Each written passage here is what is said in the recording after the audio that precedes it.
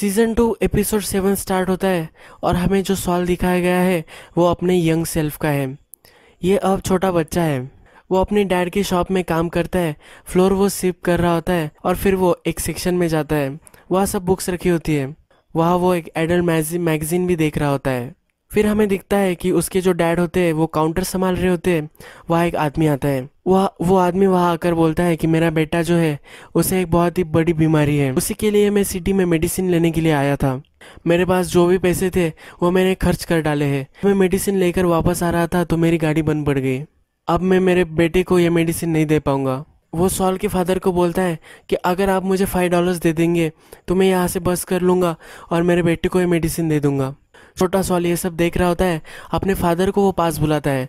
वो बोलता है कि सब लोगों को पता है कि यहाँ तुम पैसे देते हो, यानी कि तुम्हें फूल बनाना बहुत ही आसान है। इसका सन वगैरह कुछ भी बीमार नहीं है। उसके फादर उसे बोलते हैं कि अगर सचमुच में इसकी ये सिचुएशन होगी तो अगर मैंने इसे हेल्प नहीं किया तो मुझे बहुत बुरा लगेगा। उस साल के फादर उस आदमी को बोलते हैं कि तुम्हारी कार बन है तो मैं इसे स्टार्ट करने के लिए भी तुम्हें हेल्प करूँगा। जब सॉल के फादर अंदर जाते हैं तो सॉल काउंटर पर आता है। वो जो आदमी वहाँ खड़ा होता है, वो आदमी उससे सिगरेट माँगता है। पूरे दो पैक वो उससे बाय करता है। एक्चुअल में उस आदमी की ऐसी कोई भी सिचुएशन नहीं होती। वो आदमी फिर सॉल को बोलता है कि दुनिया में दो टाइप के लोग होते हैं। एक वुल्फ होते हैं और एक शीप होती है। तुम्हें डिसाइड करना है कि तुम्हें क्या बनना है। सॉल के कैरेक्टर का ये की मोमेंट हमें यहाँ पता चलता है। सॉल अपने डैड की तरह वीक नहीं होना चाहता। फिर से हम सीरीज़ में प्रेजेंट में आ जाते हैं। अब सॉल माइक को डिफेंड कर रहा होता है। वो माइक के साथ डीए के ऑफ़िस जाता है। फिर माइक डीए को बोल देता है कि टोको की वो गन नहीं थी। वो उससे पूछते हैं कि क्या तुम्हारी ये गन थी? माइक बोलता है कि मुझे पता नहीं है किसकी गन थी। वो उसे प्रेस कर रहे होते हैं तो सॉल बोलता है कि हमें नहीं पता कि वो किसकी गन थी। टेक्निकली वो गन कहाँ से भी आ सकती है।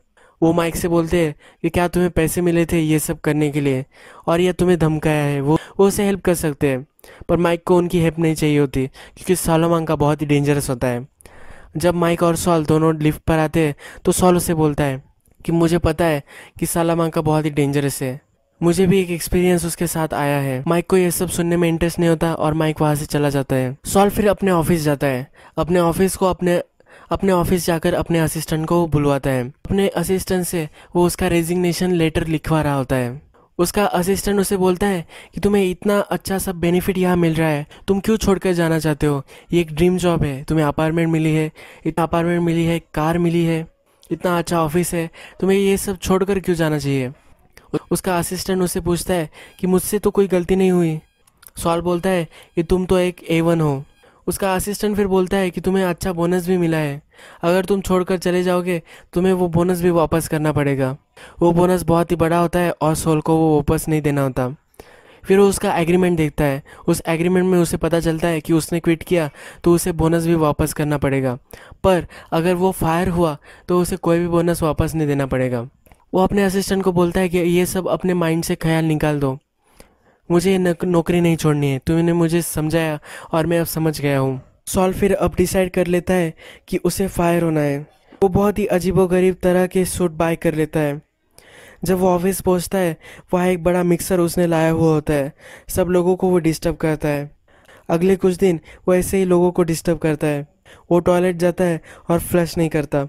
उसका बॉल सब लोगों को बोल रहा होता है वार्निंग दे रहा होता है कि अगर तुमने अगर फ्लश नहीं किया तो ये बहुत ही बुरा होगा।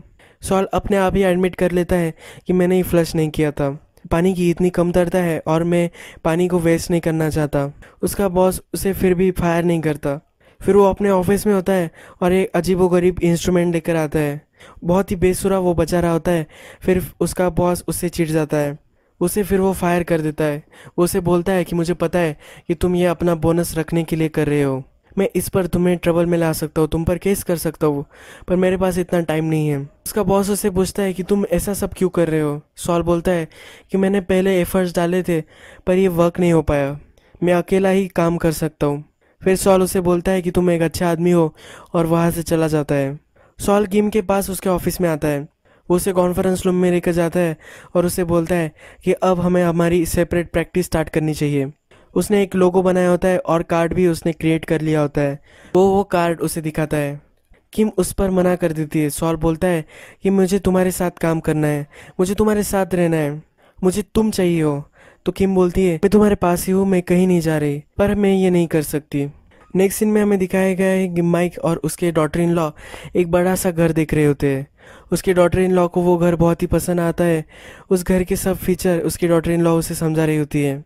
वो बोलती है कि बहुत ही अच्छा नेबरहुड है और यहाँ क्राइम्स वगैरह भी कुछ भी नहीं है। वो बहुत ही सेटिस्फाइड होती है। तो माइक बोलता है कि तुम्हें ये बाय कर लेना चाहिए।